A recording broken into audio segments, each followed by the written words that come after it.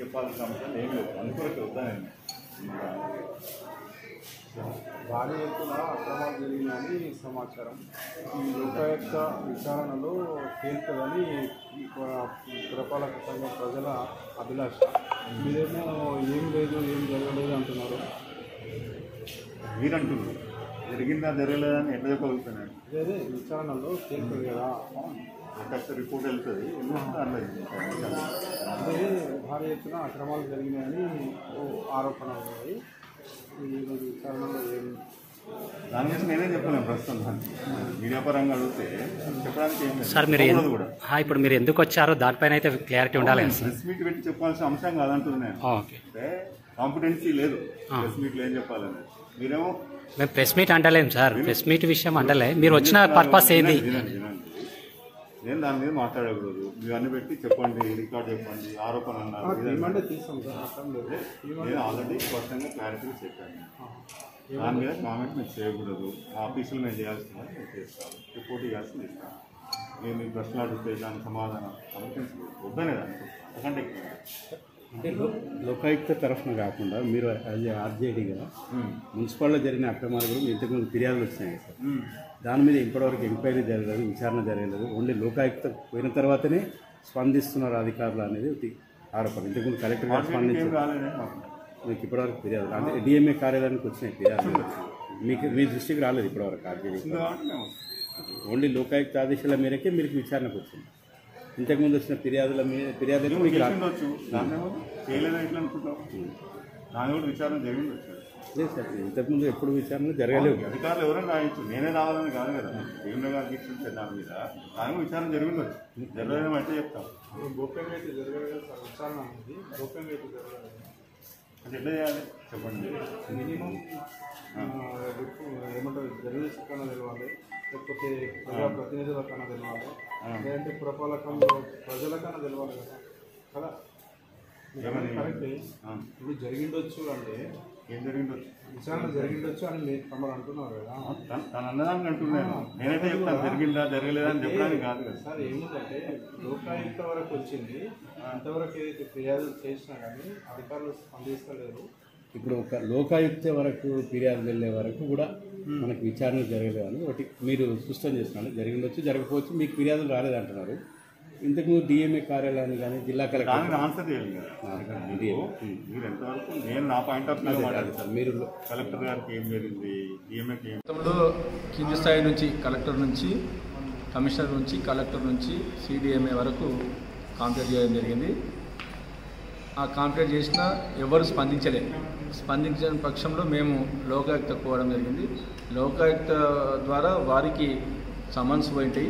Summons ద్వారానే వాళ్ళు ఎంక్వైరీకి వచ్చింది సిడిఎంఏ నుంచి ఎంక్వైరీకి వచ్చారు ఆ ఎంక్వైరీలో రీజనల్ డైరెక్టర్ గారు శ్రీనివాస్ రెడ్డి గారిని మరియు వాళ్ళ టీంను పంపించారు వాళ్ళ టీం మాతో ఎంక్వైరీ చేయడం జరిగింది.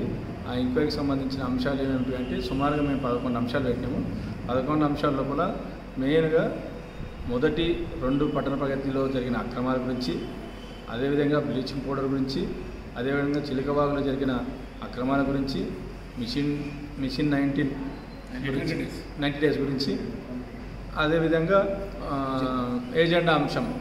ఏది ఏదో ఏ నెలది? ట్వంటీ ఇరవై మూడు ఐదో. ఐదో నెల అనుకుంటా.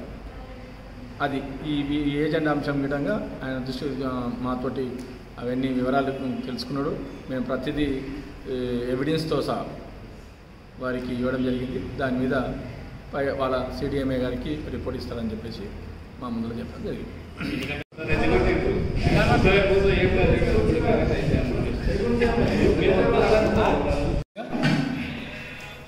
ఈరోజు సిడిఎంఏ నుంచి లోకైత ద్వారా విచారణ జరపడానికి తాండూరు మున్సిపల్కి సిడిఎంఏ నుంచి శ్రీనివాస్ రెడ్డి గారు రావడం జరిగింది.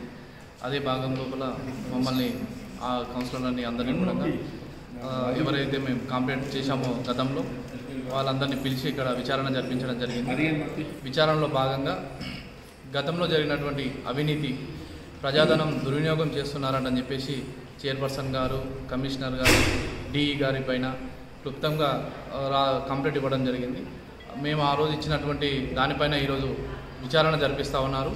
ఆ విచారణకు భాగంగానే దానికి సంబంధించినటువంటి ఎవిడెన్స్ కోసము ఈరోజు మాకు అడగడం జరిగింది. దానికి సంబంధించిన ఎవిడెన్స్ కూడా మేము కొంత భాగంగా మేము ఇచ్చినాము. మిగతా ఎవిడెన్స్ని కూడా వాళ్ళు ప్రజాక్షేత్రంలోకి వెళ్ళి ప్రజల మధ్య నుంచి కలెక్ట్ చేసుకుంటామని కూడా చెప్పారు. వాళ్ళు ఎవిడెన్స్ కూడా మేము కొంత భాగంగా మేము ఇచ్చినాము. మిగతా ఎవిడెన్స్ని కూడా వాళ్ళు ప్రజాక్షేత్రంలోకి వెళ్ళి ప్రజల మధ్య నుంచి కలెక్ట్ చేసుకుంటామని కూడా చెప్పారు. వాళ్ళు రహస్యంగా ఎంక్వైరీ కూడా జరుపుతున్నామని చెప్పారు. ఇంటెలిజెన్స్ ద్వారా. అన్నీ కూడా ఎవిడెన్స్ తీసుకున్నాము. సార్ గారు కూడా చెప్తా ఉన్నారు. చాలా ఇంత పెద్దగా ఎత్తున అవినీతి జరగడము మీ మున్సిపాలిటీ లోపలనే చాలా ఎక్కువ అనిపిస్తూ ఉందని కూడా మాట కూడా అన్నారు. దా ఆ భాగం లోపలనే మొత్తం ఎంక్వైరీ కూడా జరుగుతూ ఉంది. అది త్వరలోనే ఈ ఈ అవినీతిని తెలుస్తామని కూడా సార్ సిడిఎంఏ వాళ్ళు చెప్పడం జరిగింది. గతంలో రెండో పట్టణ ప్రగతి లోపల ఎనిమిదో అంశం అంటని చెప్పేసి మాకు ఎజెండా లోపల పెట్టడం జరిగింది. దాని లోపల క్లుప్తంగా ఇంటింటికి యాభై వేల రూపాయలు కౌన్సిలర్లకి తీసుకెళ్ళి ఇవ్వడం జరిగింది. దానిలో అంటే వాటర్ వాటర్ ట్యాంకులని సాఫ్ చేయడానికి అంటే నీట్గా కడగడానికి మోరీలు ఏమైనా ఉంటే సాఫ్ చేసుకోవడానికి అంటే చెప్పేసి శానిటేషన్ విషయం లోపలనే. దానిలో భాగంగా ప్రతి వార్డు లోపల కూడా మున్సిపల్కి సంబంధించినటువంటి కార్మికులే వర్క్ చేసిండ్రు. ఖాళీ వాటర్ ట్యాంకులను కడిగి ఫోటోలు తీసినాం. మా కొన్ని జగల సున్నం వేసినాం. అంతే అంతకంటే మించింది ఏం చేయలేదు. దానికి బాగా దాన్ని రికార్డుగా తెలివిగా రికార్డుగా తయారు చేసి కాంట్రాక్టర్ల పేరు మీద అరవై అరవై వేలు బిల్లు లేపి ఒక్కొక్క కౌన్సిలర్ ఇంటికి నలభై నలభై వేల రూపాయలు పంపించిండ్రు. అలాగే సిద్ధుగౌడు ఉన్నారు కదా కౌన్సిలర్ వాళ్ళకు పంపిస్తే ఆయన తిట్టి పంపించేసిండు వాపస్. ఏ తమాషాలు చేస్తున్నావా? పైసలు తీసుకొచ్చి ఇంటికాడ ఇస్తున్నావు అని చెప్పేసి ఇలా అట్లా అలా అధికార పార్టీలో ఉన్న కౌన్సిలర్లు కూడా నిజాయితీగా కొంతమంది డబ్బులు తీసుకోలేదు. ఇట్లా తీసుకోకూడదు కౌన్సిల్ ఎజెండాను పాస్ చేసి తీర్మానం చేసి మనం డబ్బులు అలా తీసుకోకూడదు. అది తప్పు అవుతుంది. ఇట్లా ఈ పని చేయకండి అని చెప్పేసి అధికార పార్టీలో కూడా ఒక ఐదారు మంది నలుగురు దాకా తీసుకోలేదు. మేము ఒక నలుగురం తీసుకోలేదు. ఈ విధంగా ఒక ఎనిమిది తొమ్మిది మంది దాకా ఇంటికి కౌన్సిలర్ యాభై యాభై ఏళ్ళ తీసుకో తీసుకోలేదు. మిగతా కౌన్సిలర్లు అందరూ కూడా ఇంటింటికి వెళ్ళి ఇవ్వడం ద్వారా అంటే కొత్తగా గెలిచిన కౌన్సిలర్లు కాబట్టి అంటే కౌన్సిలర్లకు రెండు నెలలకు మూడు నెలలకు ఒకసారి ఇంటింటికి యాభై వేలు ఇస్తారేమో కౌన్సిలర్ కౌన్సిలర్ అన్నట్లు తీసుకున్నారంట వాళ్ళు కూడా. తీసుకున్న తర్వాత తెలిసింది ఇది ఇది రెగ్యులేషన్ పాస్ చేసి పంపించారు అనేది విషయం. దానిపైన కూడా సిడిఎంఏ గారికి క్లియర్గా క్లుప్తంగా ఇవ్వడం జరిగింది. దాన్ని అది చాలా పెద్ద అవినీతి ఇలా చేయడం చాలా తప్పు అంటని చెప్పేసి వారు కూడా ఖండించారు. దానిపైన విచారణ జరిపి సమగ్ర స- సర్వే అయిన తర్వాత వాళ్ళు ఏమనేది చెప్తామని యాక్షన్ తీసుకుంటామని చెప్పారు. యా- యాభై లక్షల రూపాయలు క్లెయిమ్ చేసింది మున్సిపల్ నుంచి. ఆ, క్లెయిమ్ చేసి ఒక్కొక్క కాంట్రాక్టర్ మీద డిఫరెంట్ కాంట్రాక్టర్ మీద డిఫరెంట్ డిఫరెంట్ కాంట్రాక్టర్ల పేర్ల పైన చేసినంటే ఏ అవినీతి చేసినా వాళ్ళు ఏం చెప్తారంటే నేను ఏమనుకుంటే అది అవుతుంది. మీరు ప్రూవ్ చేయలేరు అని క్ల- క్లుప్తంగా చెప్తారు. ఎందుకు చెప్తారు? ఆ ధైర్యం ఎందుకంటే డి గారు చెప్పారు నా గతంలో. నేను డిఫరెంట్ డిఫరెంట్ కాంట్రాక్టర్ల పేర్ల పైన చేసినంటే ఏ అవినీతి చేసినా వాళ్ళు ఏం చెప్తారంటే నేను ఏమనుకుంటే అది అవుతుంది. మీరు ప్రూవ్ చేయలేరు అని క్ల- క్లుప్తంగా చెప్తారు. ఎందుకు చెప్తారు? ఆ ధైర్యం ఎందుకంటే డి గారు చెప్పారు నా గతంలో. నేను ఒకసారి అడిగితే ఏం సార్ మీరు ఇలా చేస్తున్నారు కదా? రేపటి నాడు మీ ఉద్యోగానికి కానీ చైర్పర్సన్ గారికి కానీ ఇబ్బంది అవుతుంది కదా? ఇబ్బంది కలగదా? అంటే నేను చైర్పర్సన్కి ఎక్కడ కూడా హాని కలగనియను ఈగ కూడా వాలనియను ఆమె మీద. నేను ఏ ఏ పని చేసినా కూడా క్లియర్గా రికార్డుతో సహా రికార్డు చేస్తూ చేస్తా. అంటే నేను ఒక డీగా ఎంతో మంది చైర్మన్లే నేను కాపాడగలిగిన నాకు తెలివి ఉంది. అవినీతి చేస్తే కూడా దాన్ని లీగల్గా ఎలా ప్రూవ్ చేయాలనేది నా దగ్గర ఆ సత్తా ఉంది నేను ప్రూవ్ చేసుకుంటా నువ్వు అంత టెన్షన్ ఏం తీసుకోకు. నీకు కావాలంటే కింద చైర్పర్సన్ కంట్రోల్ పోయి మాట్లాడుకోమని ఉంటే నీకు లేదంటే చెప్పు నేను మాట్లాడిస్తాను నీకు. మేము కౌన్సిల్గా ఎన్నికైనప్పటి నుంచి మొదటిసారిగా ఇదైతే కౌన్సిల్ పట్టణ ప్రగతి తాండ్ర పట్టణం పట్టణ ప్రగతి చేసిర్రు అప్పటి నుంచి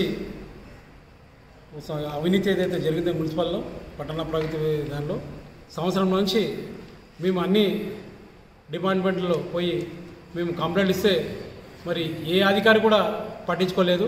మరి కలెక్టర్ గారికి ఇచ్చాం సిడిఎంఐకి ఇచ్చాం. మరి ఎన్నో రకాలుగా మేము ఎన్నో కంప్లైంట్ ఇస్తే పట్టించుకోలేదు. అయితే మేము లోకాయుక్త ద్వారా మేము కొన్ని పదకొండు అవినీతి అంశాలపైన మేము లోకాయుక్తకు పెట్టుకున్నాం. పెట్టుకుంటే ఆ లోకాయుక్త నుంచి వాళ్ళకు ఈరోజు సిడిఎంఏ నుంచి ఆర్జేడీ డైరెక్టర్ గారు రావడం మరి మాతో విచారణ జరపడం మేము ప్రతిదీ ఎవిడెన్స్తో సహా వారికి అందజేశాం. వాళ్ళ సీడీఎం గారు అన్నారు.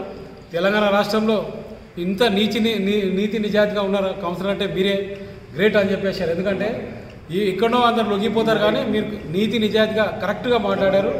మీరు నీతి నిజాయితీ కోసం పనిచేస్తున్నారు. గ్రేట్ అని చెప్పేసి ఈరోజు వాళ్ళు చెప్పడం జరిగింది మాకు. మేము అన్ని ఎవిడెన్స్తో సహా విత్ ఆడియో రికార్డ్స్తో సహా మేము ఇక్కడ మేము సబ్మిట్ చేయడం. త్వరలో వారు డైరెక్టర్ గారికి అందజేస్తారని చెప్పారు. మరియు దాని ద్వారా తదుపరి వాళ్ళు ఏం చర్య